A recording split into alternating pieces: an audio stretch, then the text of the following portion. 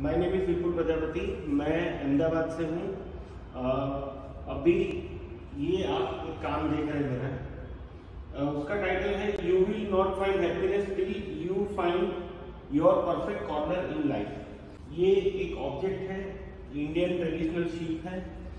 और ये गुजरात में वेराहल बंदर है, वहाँ का है। मैं अक्सर वहाँ जाता रहता हूँ और उसका शेप, वहाँ काम करने वाले लोग मुझे बहुत पसंद है तो मैं वहाँ जाता रहता हूँ। मुझे ऐसा लगता है कि या मैं यहीं रह जाऊँ या ये चीज़ों को मैं अपने घर पे ले जाऊँ। अब शायद दोनों में से कोई भी पॉसिबल नहीं हो रहा था तो मैंने उसको मतलब वो शीप को मैं अपने कॉर्नर घर के कॉर्नर पे ले आया। The greatest discovery it's discovery जब आपके पास लाइक बहुत भूख होती है, तभी हम खाना ढूंढते हैं और कुछ करने की कोशिश करते हैं।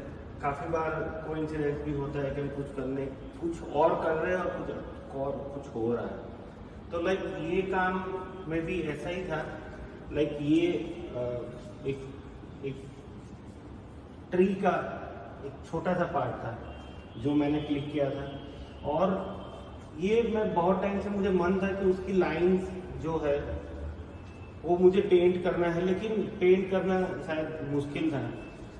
वही टाइम में मैं कुछ ट्रेस कर रहा था और चारकोल नीचे गिरा पेपर ऊपर गिरा और कुछ इंप्रेशन हुआ। तो मुझे लगा कि ये कुछ अलग हो रहा है। लाइक ऐसे काफ़ी पेंटर्स ये टेक्निक करते हैं, लेकिन मुझे लगा कि अगर यही टेक्निक से अगर पूरा काम हो सक हो सकता है क्या?